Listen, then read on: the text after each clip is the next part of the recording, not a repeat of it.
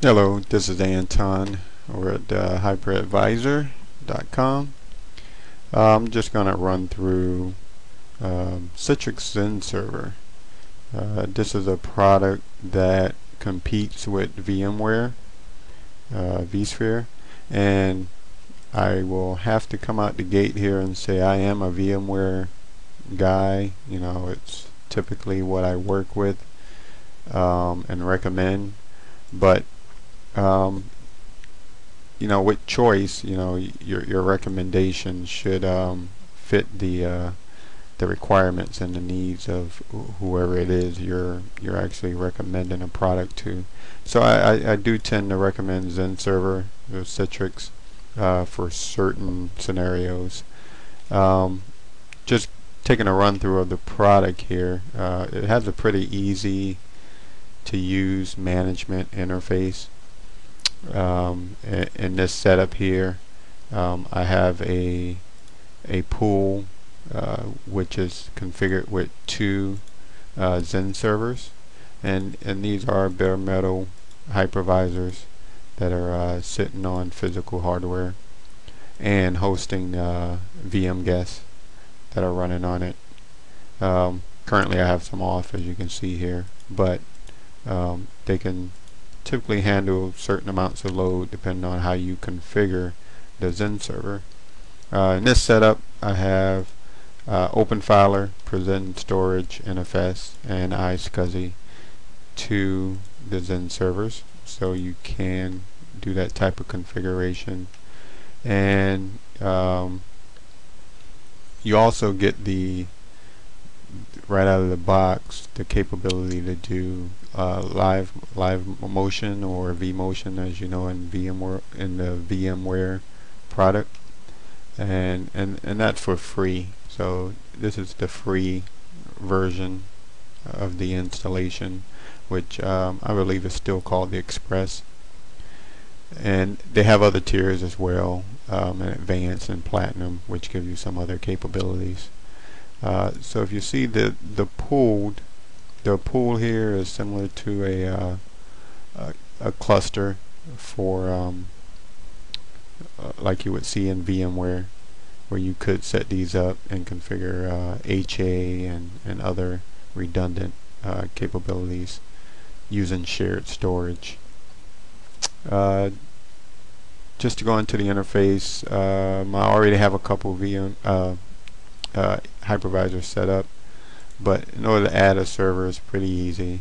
You just click the add server um, put in the IP address or host name um, and credentials. And it just takes you through a wizard of setting that up. Um, as far as the pool there's also a wizard for this as well. Uh, pretty simple you know put in a name. Uh, you have to configure a, uh, a master in here. Uh, this is a little different from VMware where the in the vSphere product it actually automatically does this for you.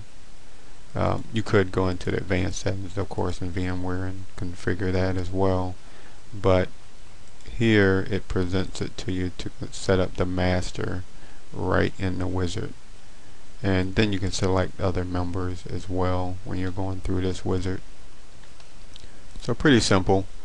Um, once you're in there, you get other options here where you can configure VMs and storage. Uh, let's take a look at the storage. Pretty simple. Again, you know, it's I, I guess the one of the the large benefits I see with the Citrix Xen Server products is that the uh, the simplicity of the uh, the management interface. So on the storage front, you can see we can set up NFS, iSCSI, um, you can set up hard hardware HBAs and some other advanced uh, storage uh, technologies that they have out there. Um, you can also set up libraries, which I think is, is really, really nice. Where if you have ISOs, you can just connect to a share or uh, CIFS or NFS, and it will um, allow you to pick from those um, ISO libraries that you have in there um, right from this GUI here which you know this makes things a lot easier when you need to connect a um, an ISO tool to an actual VM you just come to the drop down and you pick through the uh, through the um, the library and your options no need to go in and um, create a data store you know uh, make sure that the VM can actually see everything on the, the data store. It's kind of done automatically for you when you create the uh, library. So that's pretty pretty nifty feature. And you get some of the same um, general information that you would uh, in in Virtual Center uh, not as much information. Uh, like I said you know VM, the VMware product um, is a little more complex and with that it gives you a lot more information and uh, flexibility of doing things as well. So you can get performance information. Again I was in here already. You can get the uh, the console view you can undock this go full screen if you wanted to. Um, snapshots you could take snapshots you know no need to go into detail around this. Uh, you get log information as well. Um, some some of the settings in the Express are are actually not available but uh, with the paid versions you get some additional uh, features and functionality. So think at a high level that's pretty much it. I'm not going to go into much detail on this on the product and the setup right now. Um, network configurations set up your different uh, management interfaces and, and networks for your VM guests similar to what you can do in, in VMware um, you can bind NICs together uh, the console for your your your actual um, Xen server hypervisor which is pretty nice feature. You don't have to actually go down to an, an SSH um, command or do anything extra to get this this window here. It's already built in. The performance graphs are here as well as you'd expect and you also have capabilities of um, joining this to a domain so you can get a user authentication.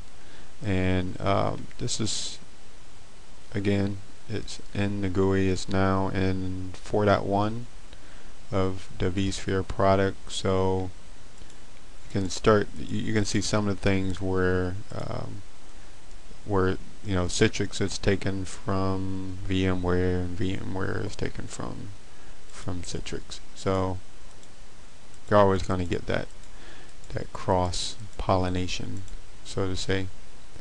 Um, but in a nutshell that's the product. Um, another another good benefit to the the, the Xen server product is um, it's based on you know a, a Linux install. And the Linux seems to have a, a, wider range of hardware or I should say this this Xen server product has a, a larger range of uh, hardware that you can install it on. So you'll you don't have to do as much uh, pre-configuration of specific hardware because kind of out of the box the um, the installation will install on most most hardware that you have out there even some of the legacy uh, hardware. Um, so again not to bash uh, the VMware product it's a great product. As I said I I use that product uh, my day-to-day -day, um, job or employment and I recommend the product. Um, most of the time but still um, Xen Server has its advantages and its areas where um, it should be considered so give it a look um, install it play with it and see where it might fit in your environment or in certain scenarios. That's it for me. Bye.